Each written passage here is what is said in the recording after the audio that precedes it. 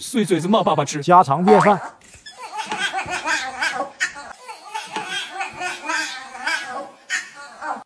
今天我们去景区转转，人太多，不让带狗。哎，还没骂完，爸爸竟然走了。假期出来玩，人太多了，怕碎嘴子骂人，只能我俩自己来了。委托了我美丽的闺蜜，晚上来家里头喂。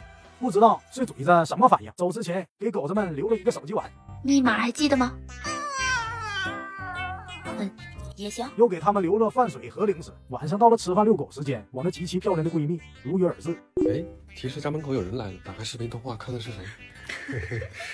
这傻子，给你发了临时密码啊，辛苦你带着狗子出去转转啊。你家放狗了？对啊，为了睡嘴子操碎了心。